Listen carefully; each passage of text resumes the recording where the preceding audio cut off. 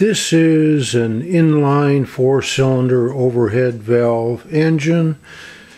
My first multi cylinder four cycle engine. It's built from bar stock.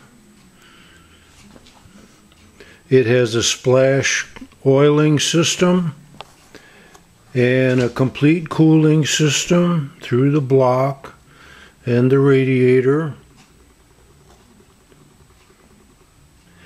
It has a spark ignition. It runs on regular gasoline.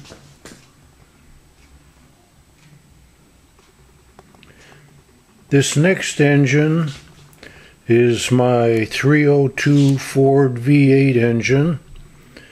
It was completed in the late 80s it too is made from bar stock, all scratch built. It has a full pressure oil system, electronic ignition triggered by a Hall transistor. It has complete cooling through the block, the heads, and the manifold. It's primarily made from aluminum. The block, the, the heads are iron This is the carburetor that normally goes on it. I put it out for display and I run it on a small model airplane type carburetor.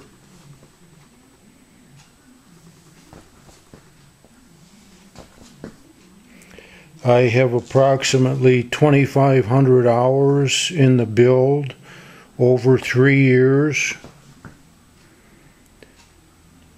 It probably has 30 hours of running time on it since its completion.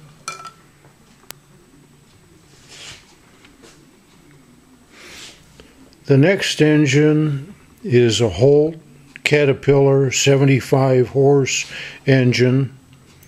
It was built from the drawings that Holt, that Coles used to sell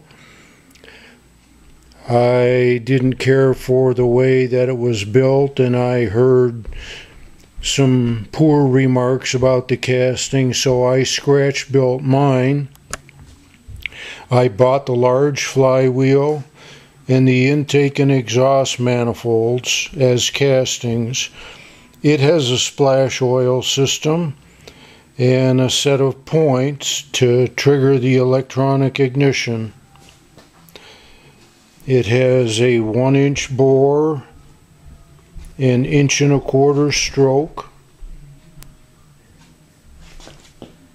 It's water cooled and runs on regular gasoline. The next engine is my miniaturized copy of a Ford 300 cubic inch six cylinder engine. It is made from bar stock. It has a splash oil system and the ignition is electronic triggered by a Hall transistor.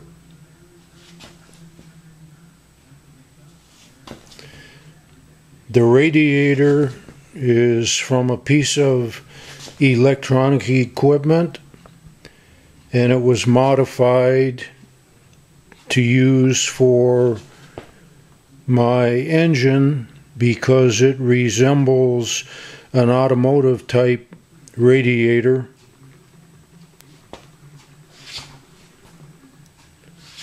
The next engine is what I call my Fordilac or combination Ford flathead with a Cadillac exhaust.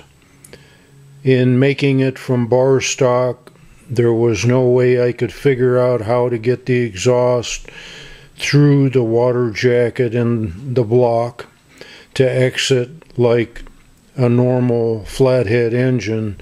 So I have the exhaust out the top like a Cadillac. It has a full pressure oil system, complete cooling through the block, the heads, and back into the radiator.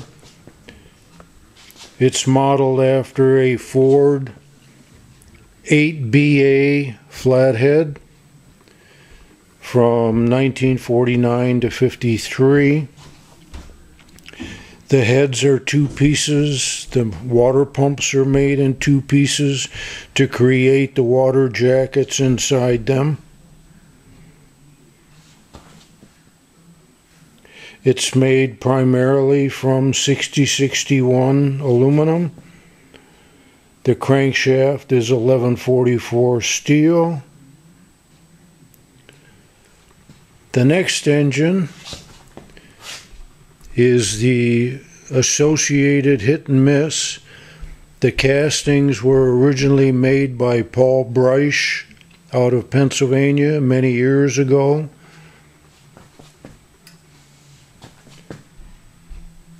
The main castings are cast iron, the flywheels, the crank case, the water hopper.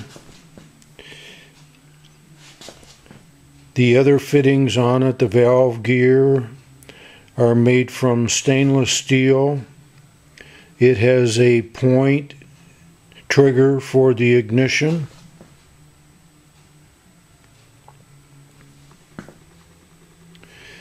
The next engine is called the Topsy Turvy.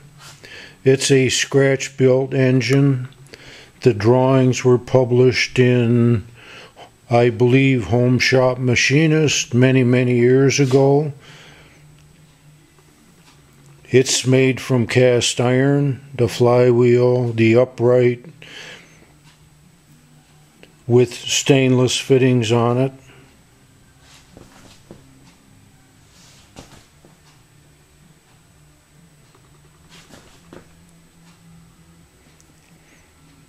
The next engine is another of Paul Breisch's casting kits.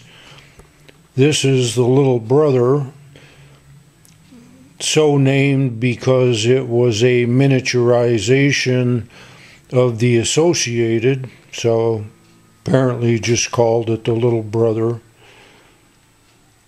It too is made primarily from cast iron and has a point trigger for the ignition system. The last engine in my gasoline collection of larger engines is my 90 degree V twin, my own design. It also is scratch built. It has iron cylinders, aluminum heads with bronze valve guides. It has a full pressure oil system. The crankshaft rides on ball bearings. It has a Hall trigger for the ignition.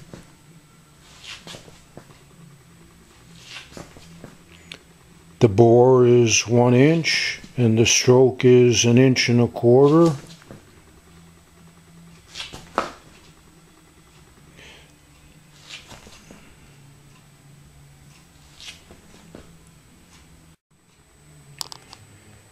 So this is my collection of larger internal combustion engines